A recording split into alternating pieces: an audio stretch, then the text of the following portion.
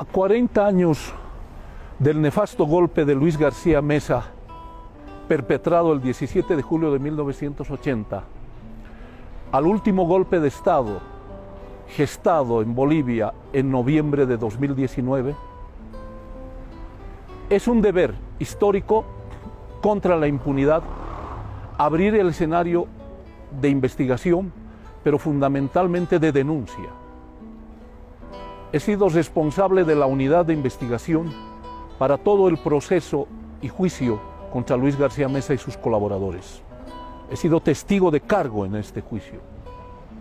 Y es importante, a partir de estos hechos, hacer una relación no solo comparativa, coincidente en la historia. Este escenario ha sido gestado a partir de un proceso conspirativo, con 46 atentados terroristas en 1980, que precedieron al 17 de julio, cuando se asesinó al dirigente Gualberto Vega y Apura y fueron victimados y desaparecidos Marcelo Quiroga Santa Cruz y Carlos Flores Bedregal en la reunión del histórico CONADE en la Federación de Mineros el 17 de julio para resistir al inicio de un golpe nefasto que fue organizado y gestado por grupos oligárquicos y de partidos de derecha de Bolivia que negaban el voto y la victoria del doctor Siles aludiendo un fraude electoral. Fueron estos mismos componentes conspirativos los que, los que gestaron el golpe de 1980, sumados a una capacidad de organización, entre comillas, desplegada desde el Estado Mayor de Ejército a la cabeza de Luis Arce Gómez, con la conformación de grupos paramilitares armados con la elaboración de un plan que se llamó el Plan de la Noche de los Cuchillos Largos para ejecuciones extrajudiciales, para perseguir, para torturar al pueblo boliviano. El otro componente que no se aleja de la realidad vivida en noviembre de 2019 es el concurso de sectores de la oligarquía que apostaban a la negación de la libertad de la democracia y también de sectores y de grupos del narcotráfico que financiaron el golpe de Luis García Misa y fueron parte de un narcogobierno. Ahí encontramos a la familia Camacho, a José Luis Camacho, a don Juan Carlos Camacho, tíos del señor Luis Fernando Camacho, que organizaron la colecta de una bolsa para financiar el golpe de García Mesa junto a Hugo Echeverría en Santa Cruz. Diez de las familias más fuertes del narcotráfico invirtieron, entre comillas, una bolsa de más de 10 millones de dólares para cooptar, sobornar a grandes y pequeñas unidades y lograr su concurso en este golpe sangriento que detonó el 17 de julio de 1980, al igual que el golpe de noviembre de, 2019. Este proceso que enlutó al pueblo boliviano, con saldos duros de asumir, que todavía están en la impunidad.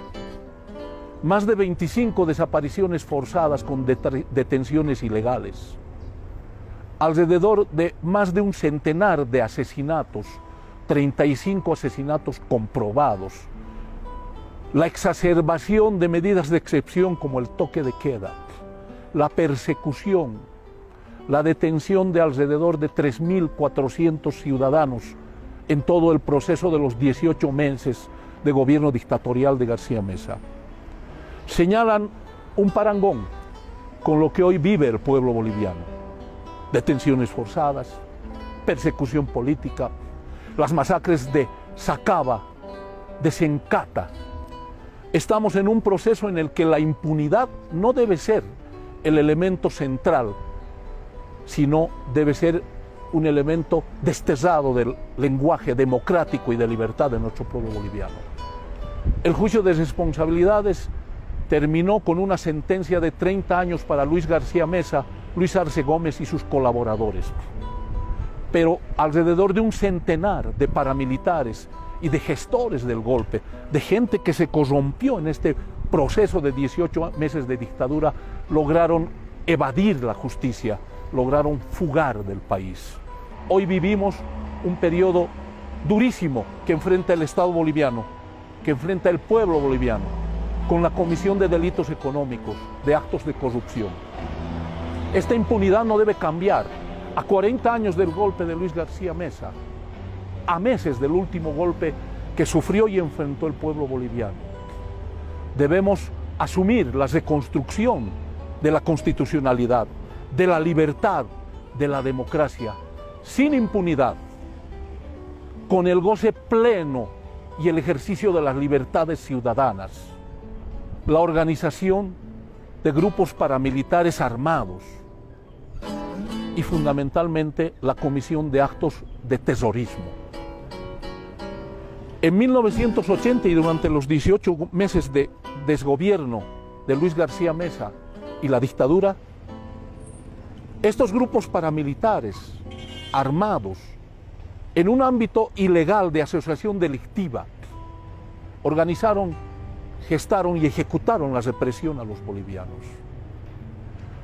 Hoy, como ayer, los encontramos en octubre, noviembre, diciembre de 2019 en la gestación de un nuevo golpe, con la organización de un grupo denominado Resistencia Cochala, que reedita la acción de grupos paramilitares de ese tiempo para castigar al pueblo boliviano, para reprimir, para ejercer la negación a la libertad de organización, de asociación, de protesta. Este escenario además fue complementado tenebrosamente con la influencia, pero fundamentalmente con el apoyo económico del narcotráfico.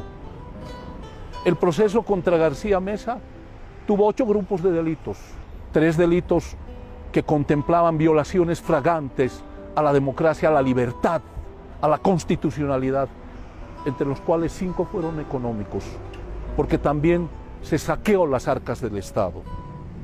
Los vidrios Raiban, las piedras de la Gaiba, el cobro de cheque en dólares, los casitos Jane, las defraudaciones que se hicieron. Nos recuerdan a un nuevo escenario que lo vivimos a partir de noviembre de este año. Hay en pie una ley de arraigo, una disposición que permitiría juzgar a los responsables de estos hechos.